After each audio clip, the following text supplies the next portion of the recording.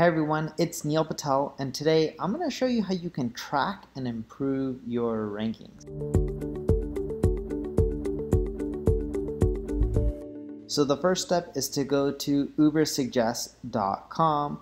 Uh, you'll land on a page that looks something like this and here you can type in anything like a domain name or whatever it may be um, and you'll be taken to the Ubersuggest app.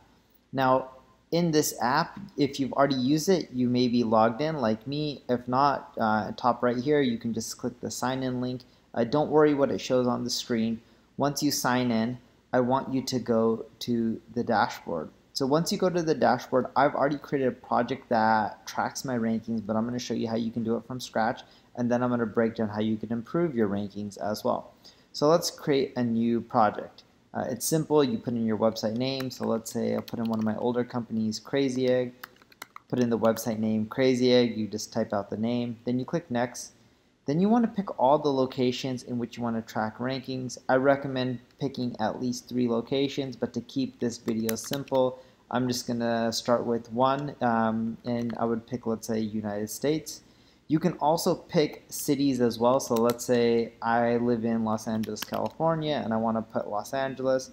Um, I can just put Los Angeles, California there. Heck, I might as well just add three as well. Um, we get a lot of business from United Kingdom, so I'm going to add United Kingdom. Then I'm going to click next. And if you, you know, when you sign up with to Ubersuggest, it'll connect with your Search Console account.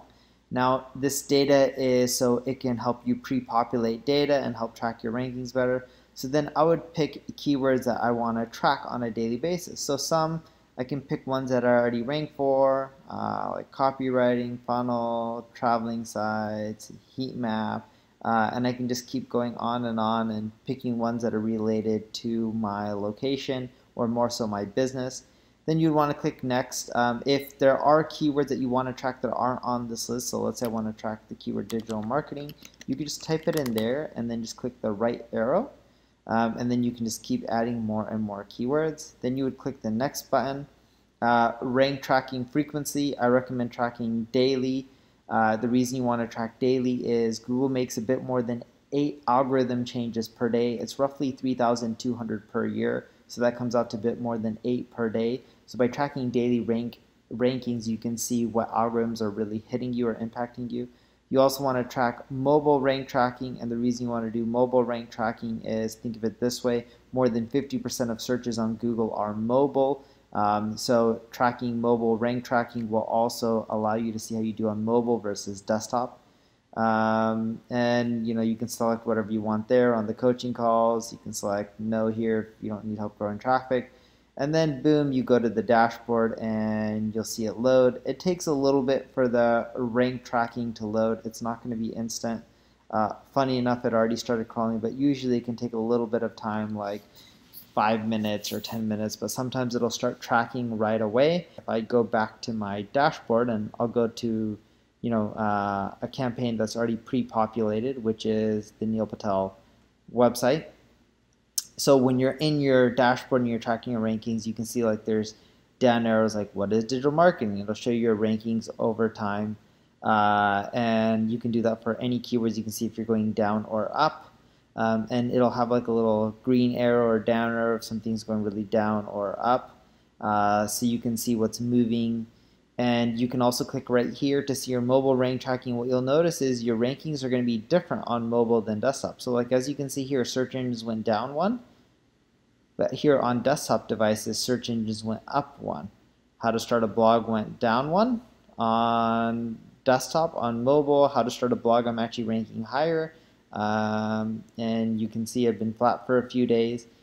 But the reason you want to track mobile and desktop is Google has a mobile first index. So they rank websites differently on mobile devices than desktop. So you want to track more. And of course, you can see all the locations that you're tracking. Like I'm like, all right, I live in Los Angeles. Let's see how I do in Los Angeles for uh, neilpatel.com.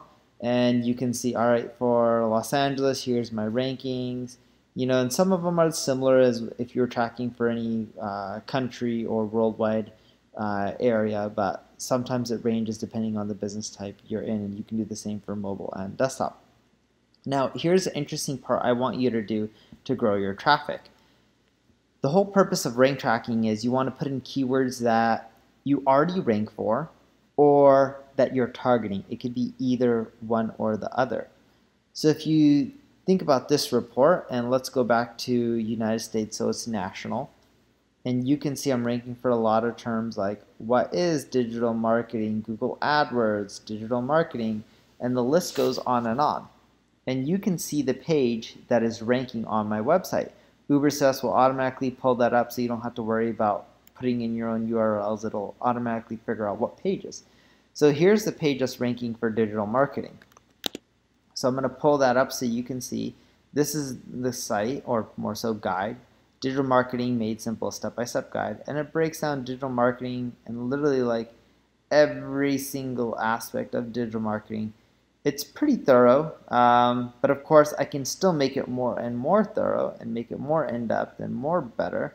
Um, and it's going on and on and on. As you can see, it's pretty popular. There's 914 comments. But this guide isn't as thorough as a lot of the other pieces of content. It, I could make it more thorough. And you've already heard that, you know, content is king. The more thorough you make your content, the better off you are. Now, I'm not going to tell you to just go add 5,000 word count to your page or your guide that's already ranking or the ones that you want more traffic for. I'm going to actually show you something that's much more strategic and that'll get you traffic quicker in a more simpler way.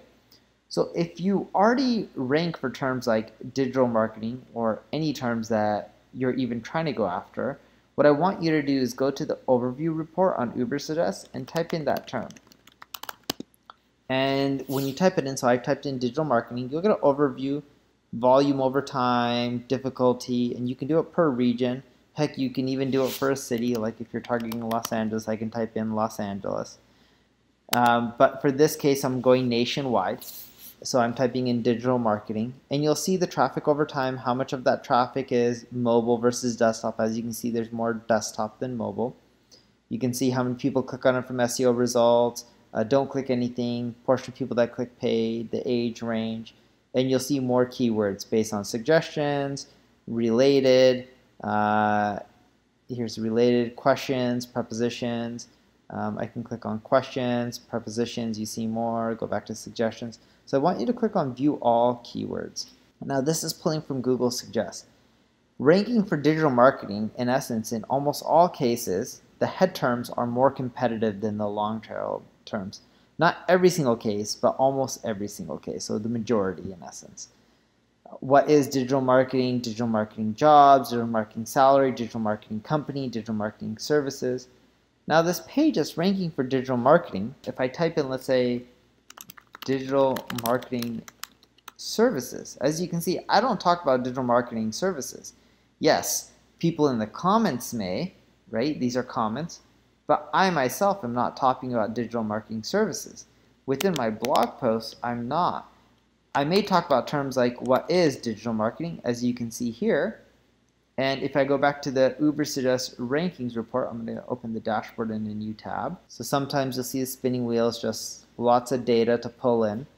Pulls in your site audit, your site errors. But as you can see, I do rank for what is digital marketing. See, what is digital marketing? And based on my Ubersuggest report, I'm ranking number two and I'm holding pretty steady.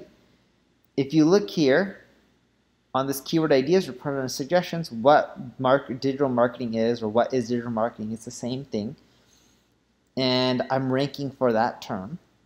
But I'm not ranking for terms like digital marketing services because I'm not including it in my text. If you look here, the CPC, the cost per click is $22.87. Cost per click for what is digital marketing is $6. Cost per click for digital marketing is $12. Digital marketing services people are paying more money for because it's more valuable. Now I have an ad agency called Neil Patel Digital, right? So for me, if I'm offering digital marketing services, as you can see here, don't you think it would be good for me to also talk about digital marketing services on this page because my corporation offers them? So what you would want to do is if you're already ranking for the head terms, and you can see I'm ranking for digital marketing, ranking number three, why wouldn't I try to go after all these other longer tail terms which in most cases are easier to rank for, for the head terms, the head term being digital marketing, and then modify my content on my website to also be applicable to all those words. So I would go and edit the page in you know whatever platform you're doing, you would edit it. I'm using WordPress. So if you're logged in, you just click the edit button when WordPress. If not, you would just go into your WordPress and then click on edit and you would adjust the content. So then what I would do is I would start editing these pieces of pages, these content pages, to then include the longer tail variations. And I would do this for the suggestions tab on the keyword ideas report. I would then do it for the related tab and you can just find so many keywords. It's never ending. You know, as you scroll, you wait a little bit and more keywords keep loading. Like literally it's never ending. And then I'll do it for the popular questions and then I would do it for the popular prepositions, and then I would do it for the popular comparisons. Now, if you go in and you modify your content and you adjust it for all of those longer tail variations, and you ideally pick the ones that have a higher CPC, that's cost per click. So this is what someone would pay if they're bidding for that keyword in paid ads. Now, I know you may not be doing that, but typically if a keyword has a high cost per click, that means it's more lucrative. People are willing to pay more because those visitors for them are converting into customers. So you want to take all of those keywords that have a higher CPC and integrate them within your text as long as it's relevant and it makes sense, adjust it on there. And then what you can do is you can go out there and you can end up generating more traffic and those visitors will be more likely to convert in sales because people are paying higher cost per clicks. So this is a simple hack on what I do to track my rankings and grow my rankings. It's really simple. If you just do this with one page every single week, after a year, you should end up getting double, triple the amount of traffic. Because if you already rank for popular terms, the long tail variations, like if you look at the word digital marketing, yes, it gets 60,000 60, searches a month, but all these longer tail variations, if you add them up, get way more traffic than 60,000, right? Because you can do that for the suggestions tab, then the related tab, and the amount of keywords just continually add up. And if you go after all the ones that are applicable, you'll get more traffic. Now, if you have any questions when you're doing this, just leave a comment below and I'll answer and I'll help you out. If you enjoyed this video, like it, share it, subscribe to the channel, tell your friends about it. And if you need help growing your traffic, check out my ad agency, Neil Patel Digital. And thank you for watching. I look forward to helping you grow your traffic.